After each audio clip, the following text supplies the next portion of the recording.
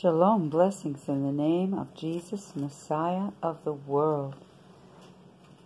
Well, my goodness, we need to finish up this Smoky God book, and it is seriously so interesting right here. Let's pick up right where we left off.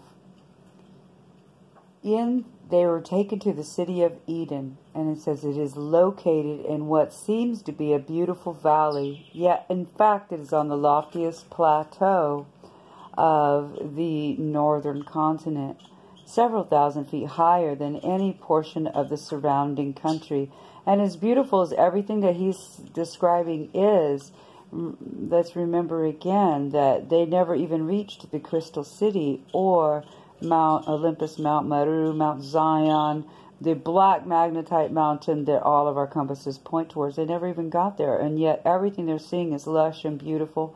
And we need to also remember that though they found Christian giants living up there, neither one of these men, in fact, both of them apparently went to their graves still believing in Odin and Thor, and they were never able to piece together that our God is an awesome God, right? And He reigns over the entire universe. So I don't know why they were not able to piece that together, but thank goodness, thank you, Father, we are.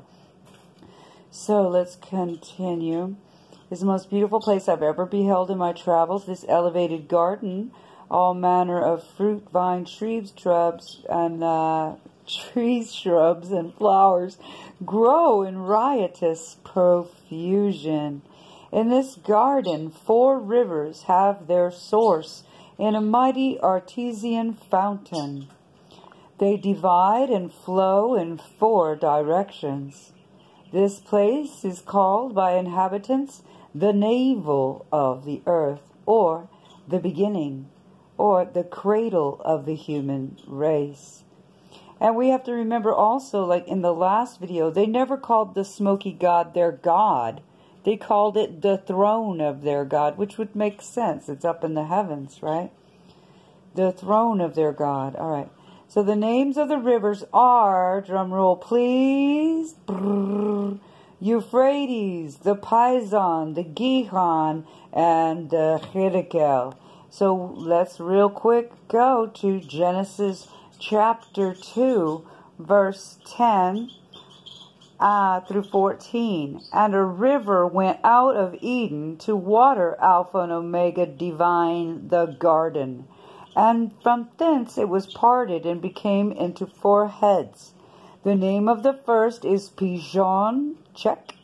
That is it which compasses the whole land of Shavila, where where there is gold. And what have we learned? That this whole land is everything's encased in gold. And the gold of that land is good. There is bdellium and the onyx stone. And the name of the second river is Gishon, Cha-ching! Got that one? The same it is that compasses Alpha and Omega divine the whole land of Cush. And the name of the third river is Hickadel, Hiddekel, that's right. It's the same in the Bible as it is in this book. That is it which goes toward the east of Ashur. And the fourth river in the Bible is Perath, and um, that's wild because they call it the Euphrates. We also have a Euphrates River. And Yahuwah Elohim took Alpha and Omega, the man, and put him into the Garden of Eden to dress it and to guard it, and so forth. And let's continue here. So we have several matches for Scripture and names out of Scripture here, and the fact that they are worshiping Jehovah. All clues. The unexpected awaited us in this palace of beauty in the finding of our little fishing craft. It had been brought before the high priest in perfect shape, just as it had been taken from the waters that day when it was loaded on board the ship by the people who discovered us on the river more than a year before. We were given an audience of over two hours with this great dignitary, that is, the great high priest. It's also another Bible term, the great high priest, who seemed kindly, like, it sounds like Melchizedek, right? Who seemed kindly disposed and considerate. He was a good man. He showed himself eagerly interested, asking us numerous questions, and invariably regarding things about which his emissaries had failed to inquire. So he was wiser than all the rest. And it also says he was taller. And at the conclusion of the interview, he inquired our pleasure, asking us whether we wished to remain in his upper country or if we preferred to return to the lower world, providing it were possible to make a successful return trip across the frozen belt barrier that encircles the earth. Hallelujah. Thank you, Father. Hallelujah. My father replied, It would please me and my son to visit your country and to see your people, your colleges and palaces of music and art, your great fields, your wonderful forests of timber, and after we have done and had this pleasurable privilege, we should like to try to return to our home. This son is my only child, and my good wife will be weary awaiting our return. Now, here the great high priest prophesies, and he warns him. Listen, he says it right out, the first thing out of his mouth. He says, I fear you can never return, replied the chief high priest, because the way is a most hazardous one. Hazardous one. However, you shall visit the different countries with Jules Galdea, his giant uh, host, as your escort, and be accorded every courtesy and kindness. Whenever you are ready to attempt a return voyage, voyage, I assure you that your boat, which is here on exhibition, shall be put in the waters of the river Hiddekel at its mouth, and we will bid you Jehovah speed. Jehovah speed. Thus terminated our only interview with the high priest or ruler of the continent. And I want to uh, reiterate that um, across frozen barriers and a belt that surrounds the earth, never ever did they go underground or witness any kind of caverns, caves, or anything suggesting inner earth. They never climbed down into anything. He all he says is they sailed north, sailed north, sailed, sailed north. All right, let's continue. Josephus says God prolonged the life of the patriarchs that preceded the deluge, both on account of their virtues and to give them the opportunity of perfecting the sciences of geometry and astronomy which they had discovered. Hallelujah. Okay, so um, let's continue here. The people are exceedingly. No, no, no, no, no, back up. In our travels, we came to a forest of gigantic trees. Close your eyes and use your most vivid childhood imagination right now. Just let God fill your mind with the pictures of Eden. We came to a forest of gigantic trees near the city of Delphi. Had the Bible said there were trees towering over 300 feet in height and more than 30 feet in diameter growing in the Garden of Eden, the Ingersolls, the Tom Paines, and the Voltaires would doubtless have pronounced the statement a myth. Yet this is the description of California Sequoia gigantea. But these California giants pale into insignificance when compared with the forest Goliath found in the upper northern region continent, where abound mighty trees from 800 to 1,000 feet in height and from 100 to 120 feet in diameter, countless in numbers, forming forests extending hundreds of miles back from the sea. The people are exceedingly musical and learn to learned to a remarkable degree in their arts, in their sciences, especially geometry and astronomy. Their cities are equipped with vast palaces of music, where not infrequently as many as 25,000 lusty voices of this giant race swell forth in a mighty chorus of the most sublime symphonies. Hallelujah, hallelujah. The children are not supposed to attend institutions of learning before they're 20. Their school life begins and continues for 30 years, 10 of which are uniformly devoted by both sexes to the study of Music. And what was the first thing to go when they started dumbing us down in school? Music, right? We need to know mu- everything was created with a song. Hallelujah. Their principal vocations are architecture, agriculture, horticulture, the raising of vast herds of cattle, building of conveyances peculiar to that country for travel on land and water. By some device which I cannot explain, they hold communion with one another between the most distant parts of their country on air currents. No device needed. All buildings are erected with special regard to strength, durability, beauty, and symmetry, and with a style of architecture vastly more attractive to the eye than any I have ever observed elsewhere. About three fourths of the uh, upper northern region of the earth is land, and about one fourth of it is water. There are numerous rivers of tremendous size, some flowing in a northerly direction, others southerly. Some of these rivers are 30 miles in width, and it is out of these vast waterways at the extreme north and southern uh,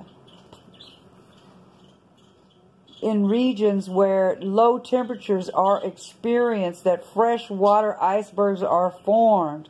They are then pushed out to sea like huge tongues of ice by the abnormal freshets of turbulent waters that twice every year sweep everything before them. We saw innumerable specimens of bird life no larger than those encountered in the forests of Europe or America. It is well known that during the last few years, whole species of have, birds have quit the earth.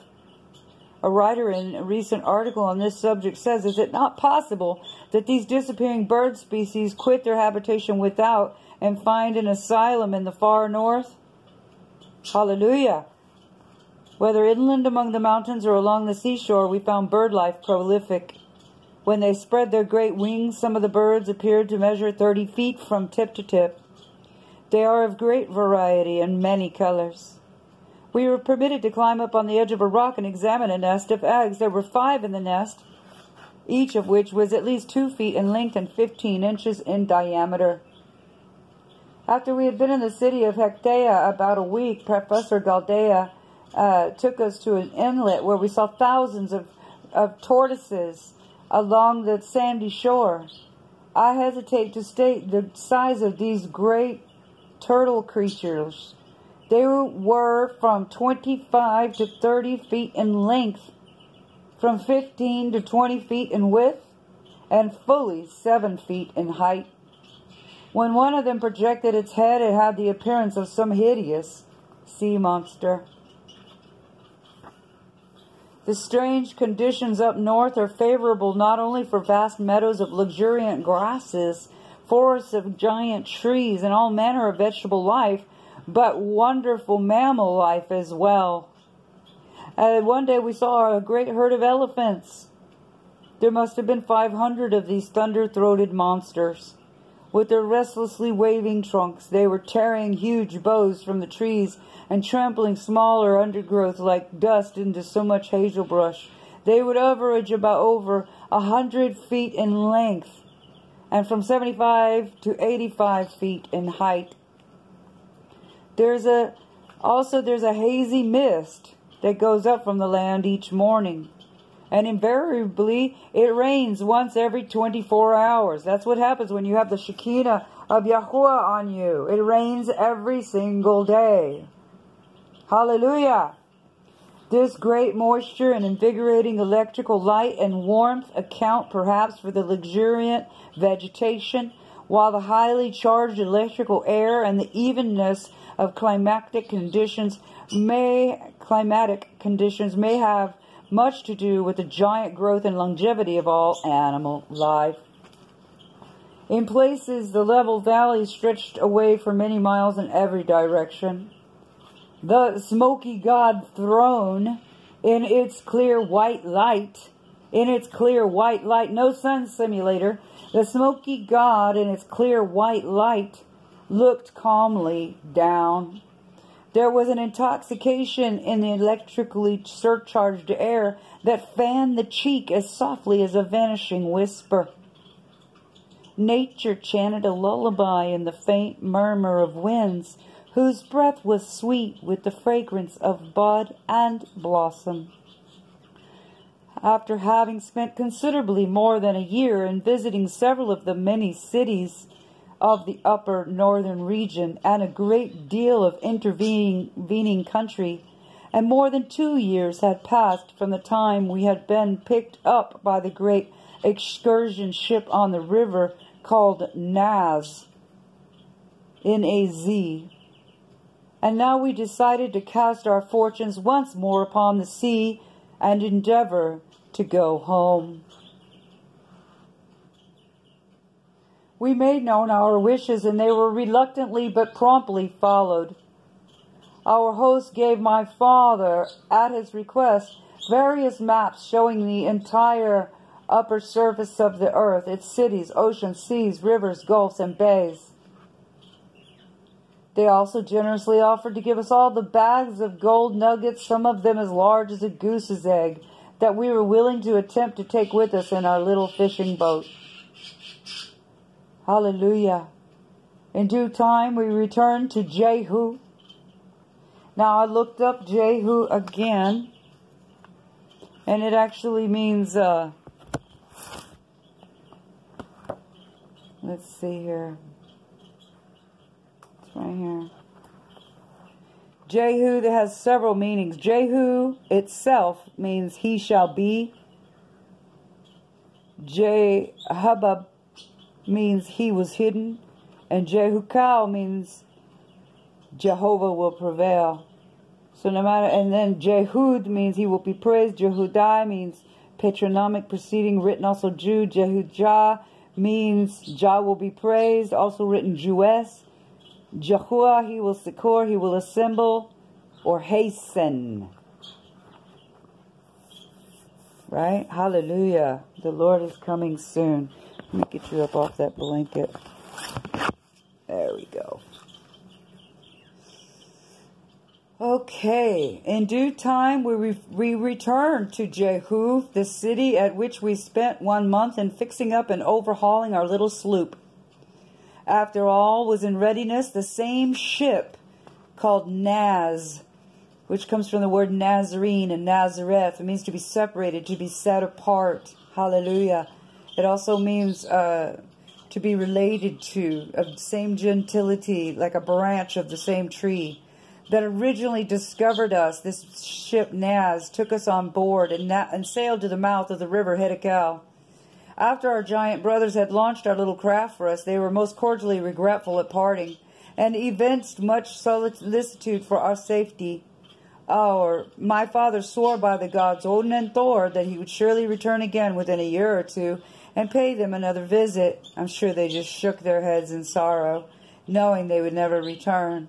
And thus we bade them adieu we made ready and hoisted our sail. I'm sure in that la- last two and a half years that they had been witness to about Jehovah, had they had probably been to all their worship services. They said themselves they had listened to 25,000 lusty voices praising Jehovah, and yet they were still unconverted. So it was, I'm sure, sad, even though they didn't ever talk about Jesus, of course, they wouldn't need Jesus there. There's nobody there to save. Jesus is the all. He's part of the the Godhead, the, the Elohim, the Father, Son, and Holy Ghost. So he is that smoky God. And this is what we know from all the scripture we've read from the Bible to the Dead Sea Scrolls to, to even finding stories like this that just happened in the last hundred or so years.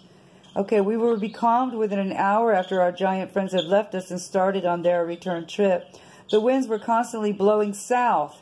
That is, they were blowing from northern uh, part of the earth towards that which we knew to be the south. Okay. There was a mild, luminous light which was still with us, which my father said resulted from the sun shining in. Uh, you know, that they could still see the smoky God. And that night we slept soundly and awakened the next morning as refreshed as if we had been in our own beds at Stockholm. At breakfast, we started out on an island, inland tour of discovery, but had not gone far when we sighted some birds, which we recognized at once as belonging to the penguin family.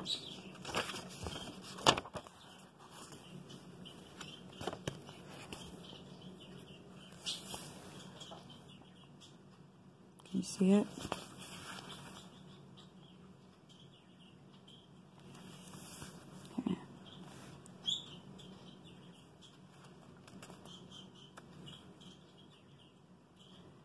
Flightless birds, but excellent swimmers and tremendous in size, with white breasts, short wings, black head, and long beaked tails, long peaked bills. They stand fully 90 feet tall. They looked at us with a little surprise, and presently waddled rather than walked towards the water, and swam away in a northerly direction. The events that occurred during the following hundred or more days beg description. We were on an open and iceless sea. The month we reckon to be December, which we know on God's holy calendar as a tenth holy month, part of the four divisions of the year in regards and remembrance of Noah. And we knew the so called South Pole was turned towards the sun. Okay, they're still thinking that they're on a ball. Therefore, when passing out and away from the internal electric light of the smoky god and its genial warmth, we thought we would be met by the light and the warmth of the sun, the yellow sun. And he says, we were not mistaken. Let's finish this up. There were times when our little craft, driven by the wind that was continuous and persistent, shot through the waters like an arrow. Indeed, had we encountered a hidden rock or obstacle, our little vessel would have been crushed into kindling wood. At last we were conscious that the atmosphere was growing decidedly colder, and a few days later icebergs were sighted far to the left. My father argued, and correctly, that the winds which filled our sails came from the warm climate from the upper northern region. Hallelujah. The time of the year was most certainly most auspicious for us to make our dash for the lower world and attempt to scud our fishing sloop through open channels of the frozen zone which surrounds the polar regions. We were soon amid the ice packs, and how our little craft got through the narrow channels and escaped being crushed, I know not. The nights are never so dark at the pole as in other regions, for the moon and stars seem to possess twice as much light and effulgence. In addition, there is a continuous light, the very shades of play of which are amongst the strangest phenomenon of nature, and that's from Rem Broelsen's astronomy. And from Humboldt, we read the fact that gives the phenomenon of the polar aurora its greatest importance is the earth is that the earth itself becomes self-luminous and it shows its capability of sustaining a luminous process proper to itself. Hallelujah. And I wanted to read you just a little bit more regarding the smoky planet out of the, the Kolbrin Bible, which is like a Celtic history book and um, has histories from all over the world. And we right now we're in the book of origins, and uh, it's chapter three,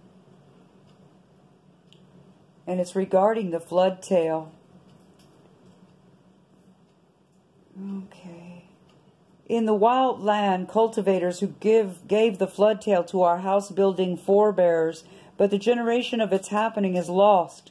In those days, men were inclined to the ways of peace, and harvest followed winter without change. But it came about that looking up into the darkling night sky, they saw a strangely formed moon chariot overhead.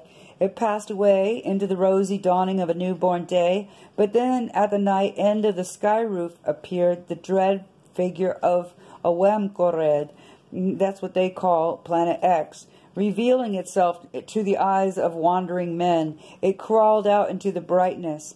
The foul breath of the nightcomer, newly sprung from the dark depths of its unearthly lair, spread across the brightening face of heaven like an evil gray veil, and even the ever fearless sun withdrew to guard himself in red war armor. The fast beating hearts of men first shriveled with despair at the fearsome sight, then rose while their throats responded with glad cries as the moon chariot came back over the dim horizon. There was an awful hell echoing clash with the noise of 10,000 rolling thunders, and men bold enough to look were stricken with blindness, and uncovered ears were deafened forever.